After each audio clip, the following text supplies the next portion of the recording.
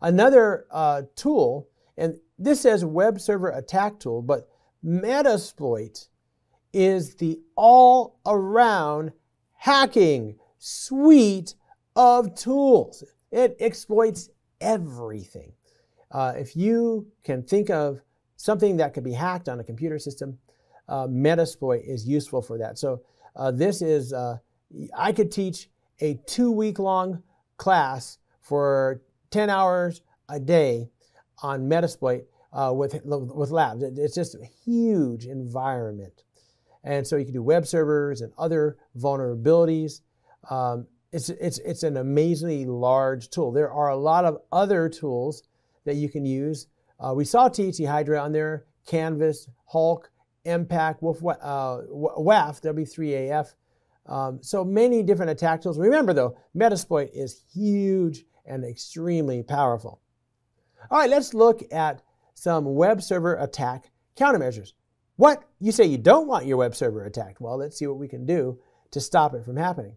Well, a few things to think about. And as we talk about web servers and applications and uh, SQL servers and uh, SQL implementations, realize that a lot of these countermeasures are not things that, let's say I'm a, I'm a user and I go to uh, somewebsite.com and like, oh man, I don't want this website to be vulnerable. What can I do to make this website less vulnerable? The, the answer is nothing.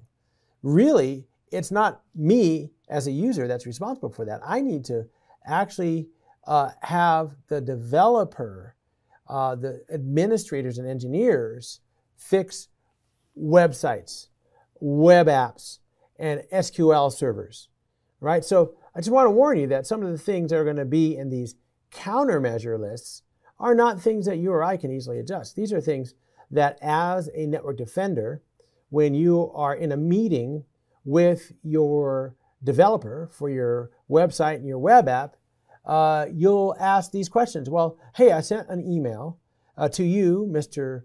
Uh, web developer, and I just need to make sure, want to check a few things.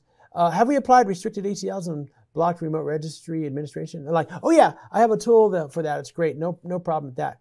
And you say, well, have we secured the SAM, uh, or is it a standalone server? And your web guy will say, oh no, actually we don't have to worry about it. It's, it's not standalone, and uh, I'm not using SAM. Okay, good. Well, uh, have you removed all necessary file shares and and any default uh, accounts permissions? Like, oh yeah, I always do that. That's a standard for us. What about your NTFS permissions? Oh yeah, what we do is we lock down every folder. So uh, this is something that the web team is going to have to work on in terms of permissions and partitions.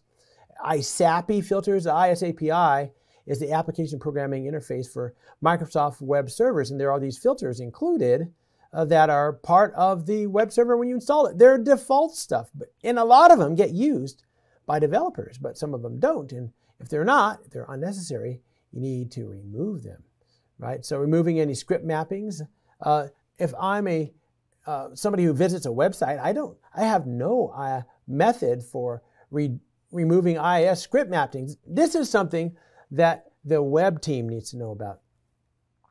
So if you're on that security team and you need to verify that your web server is as secure as it can be made, there are some tools. There's an app for that with Fortify Web Inspect. Automatically, dynamically tests your web servers, Acunetix Web Vulnerability Scanner, Retina Host Security Scanner, NetIQ, Saint, Sophos. There are a lot of tools out there that you can use to help you prove that your web server is as secure as possible.